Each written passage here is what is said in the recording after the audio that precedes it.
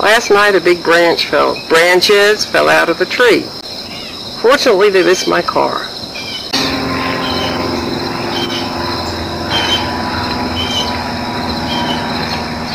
One casualty was the tongue going onto the boat trailer,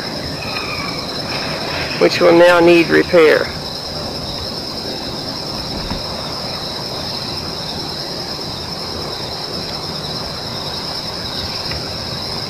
As we look around towards the garden and the dog pen, we see it goes all the way back. Rick with a chainsaw. A day's vacation will be dedicated to this. I don't know even whether it'll start. It's been so long, you know? We can try it though. Oh!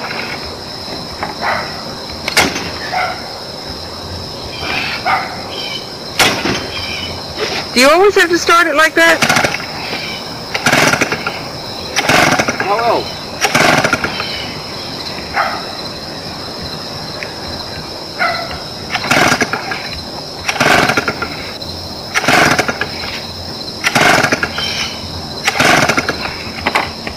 We haven't had it running for a while, you know? But you got gas in it? But gas has been in it for a while. Every time it's a process of starting over, you know?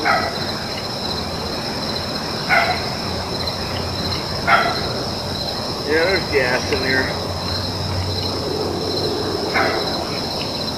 Wish I had some starter for this morning. You know? Mm-hmm.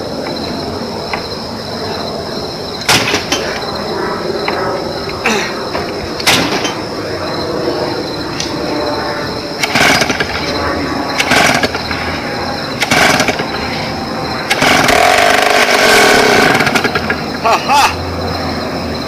Look at that. You get a shot of how much tree there was there.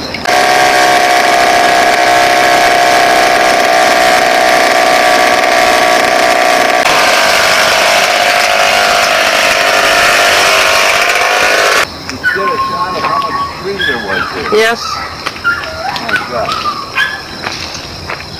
Huh. Oops. Oh, that's a biggie. Bring it down.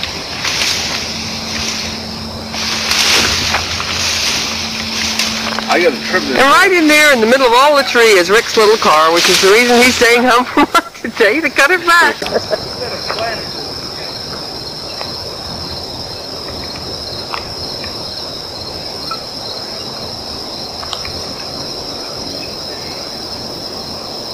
Just two samples. Aren't those pretty? Beautiful. Where Betty parked the car after this thing fell last night while we were at dinner. to be sure, this situation was not duplicated.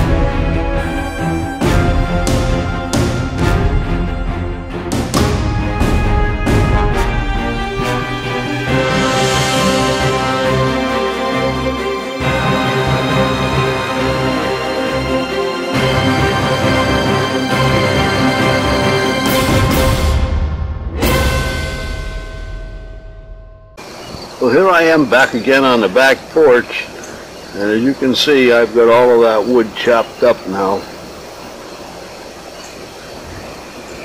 And I'm ready to take off and pick Betty up over at Howard Johnson where she's attending a seminar.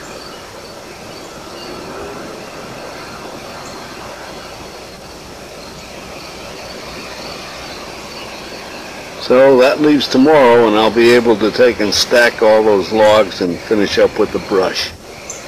That's one job I'm happy it's over.